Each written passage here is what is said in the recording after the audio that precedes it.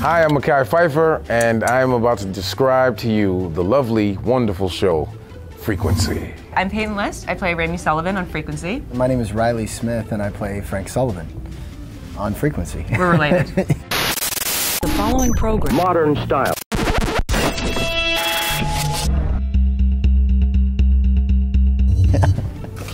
Uh, we're playing a game here. I don't. I think I know what that means. When you see Frequency, it'll make you want to shimmy because it's that good.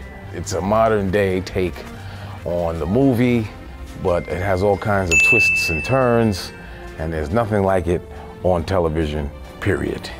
Raimy Sullivan was born in 1988, so that might make her a millennial.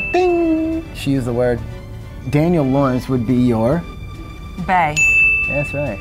And it does have a bizarre feel to it because we do dabble in some sci-fi. We have a lot of fun with that, you know. We bounce from 1996 to 2016 and uh, everywhere in between. Yo, guys, this show is gonna be bananas.